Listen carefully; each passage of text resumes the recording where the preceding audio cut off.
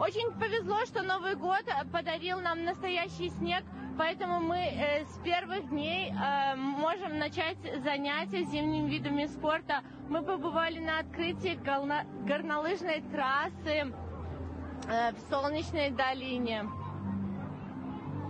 Мы первый раз в Беларуси, вот, и поэтому решили, что сегодня такой прекрасный солнечный Да. день, и поэтому решили увидеть вот такой горнолыжный курорт Очередь за лыжами.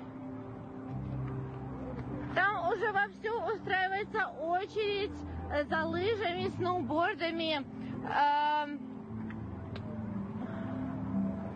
учебный.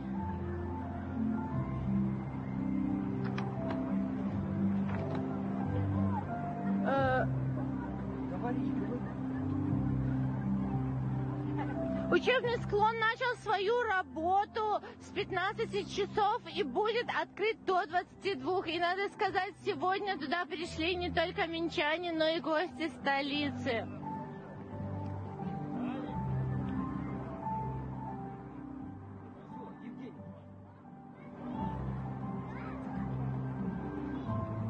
Э, Видно, что